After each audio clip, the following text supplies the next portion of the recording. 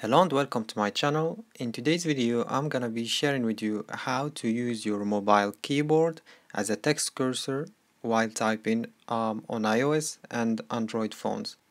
Alright, let's begin. So the process is really easy and to do that we just need to use one key and it's the space key.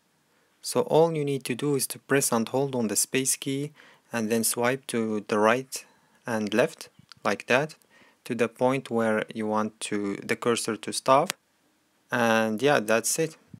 Okay so now with uh, an android phone um, so you need to do um, so just need to do the same process um, tapping and uh, holding on the space key and then um, swiping to the right and the left.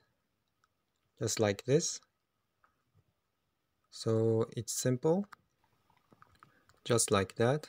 And that's pretty much it um, thanks so much for watching. Please leave a like and subscribe and peace.